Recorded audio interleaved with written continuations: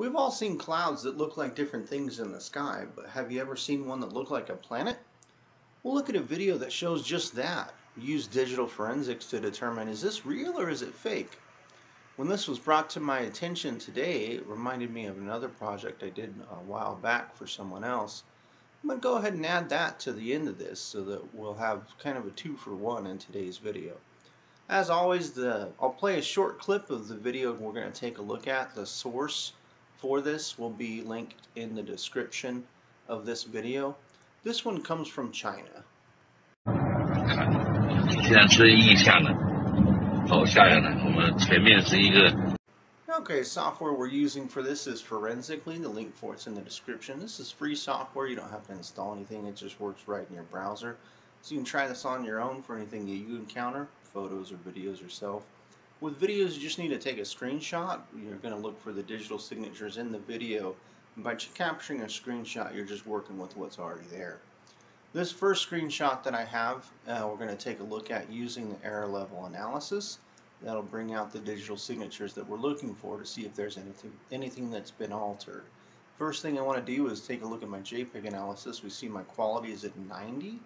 So I want to set my error level analysis to that, which it is by default. So as soon as I go over here, it's already set at 90. You see that there. I am going to go ahead and bump up my error scale here. You don't have to do that on your own, but I'm going to do it here for just to make it easier for everyone to see. And when I do that, we see a lot of these grays and then some of this on the dashboard here. Some of these little bit of little bit of difference here, uh, but nothing too too um, nothing that really stands out except for the side here and that's just the edge of the video. When I took this particular screenshot uh, the wideness of my shot is a little wider than the video itself so it's catching the edge of that video. You can see that on both sides of this particular shot. But with a lot of these things what you're looking for is just stuff that stands out with the digital signatures with these gray, we see a lot of this gray in the background and everything. But sometimes what stands out is not what you see, but what you don't see. If we take a look at this particular screenshot, the top of our telephone pole here, or our street light, it's actually a street light, we don't see the top of that. And this will become important later. But if we take a look at, back at a look at the error level analysis, we see in the background even in front of in the car we see all these grays but right here where the cloud that we're really interested in is in the image there's really not any of those grays. So let's take a look at our second screenshot here. We're going to see kind of a similar thing. The JPEG uh, quality is going to be the same so I don't have to mess with that at all but we see the same thing. We, we'll get a little bit stuff on the dashboard here, right around there. And then this, these gray lines for our background, the road and the sky. But right where this cloud that looks like a planet is in the sky, we don't see any of those gray lines. It's not nearly, as you can, it just stands right out. You see there's all these gray lines throughout the whole thing. It's pretty uniform, but then it's just this big empty spot right where our planet is. We also don't see the tops of these streets, street lamps here either. And this is going to stand out even more in our third image. With this one, we've got some of the car sticking in here.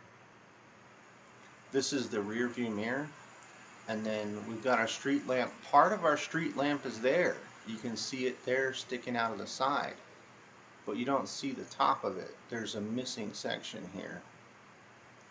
So like I said it's, sometimes it's not what you see it's what you don't see. And that's the same with our error level analysis.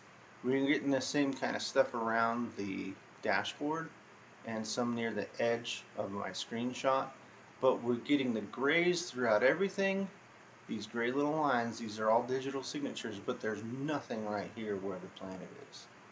It's just a big void of those of those signatures. So that's something different. There's, there's, there's something different about the digital signatures of that part of the image. And let's take a look at, I've got one more shot to look at. This one really emphasizes the telephone. Once the, the part of the image that overlaps it here, the telephone just disappears. This should be way up in the sky. There's no way this should be in front of the telephone. Or this, well, it's not a telephone, it's a light post, but there's no way it should be overlapping in front of that. And when we take a look at the screen or the error level analysis, we get the same story. There's a whole bunch of gray. We got our stuff at the bottom here for our dashboard and then some things at the edge of my screenshot but there's not hardly anything. There's this big void where we should still see those gray signatures but there's nothing there where this planet cloud-like planet or cloud-looking planet I guess you'd say is allegedly in the film. So you can I can say definitively this has been changed this has been altered and um, I've never seen a cloud look like that, and it looked a little too suspicious. I mean, it's pretty close. You know, it's it's a bit believable, and that's the thing with a lot of these things is they're just on the edge of what people will accept as you know possible. And in this case, it turns out to be fake. And if you actually watch the clip, um, as the light posts are coming up out of that uh, um, towards the car, you'll see their tops of them disappear as they encounter this part that's been doctored and then they reappear as soon as they exit out of it. So pretty sloppy job as far as the after effects on this particular clip. But as promised, I'm going to show you another one that this reminded me of another project I worked on for someone else a few months back. I'm going to show you a clip of that, and then we're going to take a look at that real quick.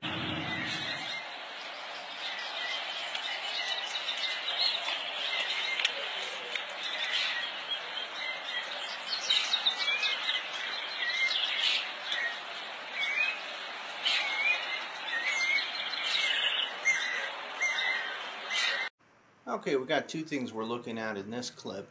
We've got our planet and our rainbow circle over here. Taking a look at the error level analysis, it just jumps out right away. We see a bunch of these crazy blue signatures in front of our planet and some of this orange stuff in front of the rainbow circle but nothing nearly like that in the sky or even in our tree tree line here or even down on the ground we've got a bunch of these blues on the edge of my screenshot. And you can kind of use that as a comparison these it looks similar to the signatures we're seeing near the planet. And we'll get a little bit of orange here but this really stands out here for our circular rainbow in the sky. We'll take a look at the next screenshot I have this was when it zoomed in on the planet and you see just right away we've got all these extra signatures that are something that's been changed afterwards. We've got a lot of the gray like you see in the background and this is the edge of my screenshot and you see there's a lot of distortion there similar to what we're seeing with this with these blue ones for our planet. Uh, so this one's been doctored. We'll take a look just to confirm in a third screenshot here and again, we've got these blue edited, you know, different digital signatures than the rest of the image. We're seeing some more blue and orange because we got some of our little rainbow peeking in in this one. But yeah, this one's been definitely doctored. So this is a pretty classic one that you'll see. You'll see just stuff stands out right away, and it's pretty obvious from the very get-go what you're looking at has been changed the digital signatures are different from the original film. This person just fil just filmed the sky in a field and then added it added the planet and the rainbow circle in After Effects. Well, I hope you have enjoyed this video. If you did, like and subscribe. And um, If you have anything that you want to send to me to look at, whether it be a photograph or a video, go ahead and send it to the email. I'll link put that in the description. And of course, the the source for this video that we looked at, the clip of, I'm going to put the source for that. It comes from Twitter, and uh, you can see the original, the full video. I got most of it in the clip that I showed you, but there is a little extra that if you want to watch the whole thing, you can go to the source of it there. So, hope you enjoyed the video, and go ahead and enjoy yourself. Have a great day.